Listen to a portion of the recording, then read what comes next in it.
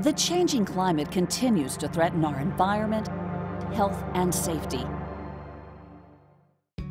Increasing the adoption of clean energy sources is one way we can reduce contributing pollutants like carbon dioxide.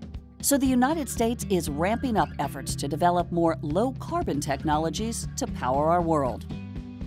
For help, we can look to the most abundant element in the universe hydrogen. Hydrogen is clean, lightweight, efficient, and versatile. When burned to generate power, hydrogen produces clean water instead of carbon dioxide, mitigating its impact on the climate. Hydrogen also contains almost three times as much energy as traditional fossil fuels, making it ideal for powering energy intensive industries like steel, plastic, chemical, information technology, and cement.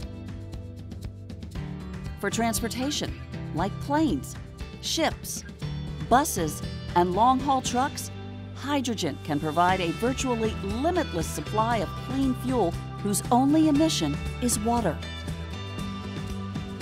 At the Office of Clean Energy Demonstrations, or OCED, we're on a mission to launch and scale critical clean energy technologies like clean hydrogen. To jumpstart America's hydrogen economy, OCED has committed $7 billion to establish regional clean hydrogen hubs. This will create a nationwide network of high paying jobs, infrastructure, and energy storage made possible through partnerships with industry and collaborating with communities like yours. The United States is reshaping its energy portfolio to ensure future generations have the clean energy they need to thrive. And with your support, we can speed up equitable access to and the sustainable use of clean hydrogen for all.